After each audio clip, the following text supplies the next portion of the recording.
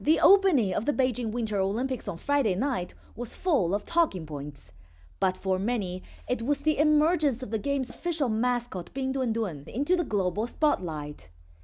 People have been busy collecting and exchanging official pins of the mascot.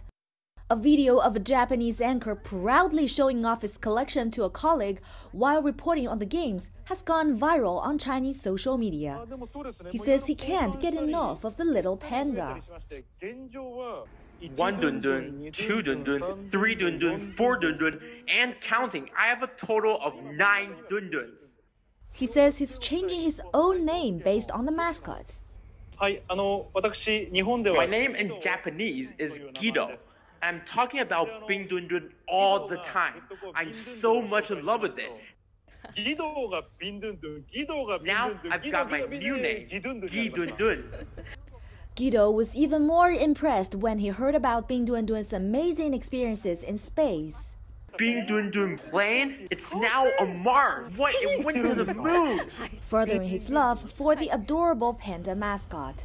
Gido's vivid and dramatic style of reporting is proving to be very popular in China, something he's very humble about. I can't believe I'm now popular in China. I sincerely thank all the Chinese people. But I know I'm just a normal 35 year old guy. So to me, it doesn't matter at all. But it's a good thing for the two peoples to get to know each other better. He added he hopes both the Chinese and Japanese people can take their time to fully enjoy this great sporting event. Cao Bing CGTN, Beijing.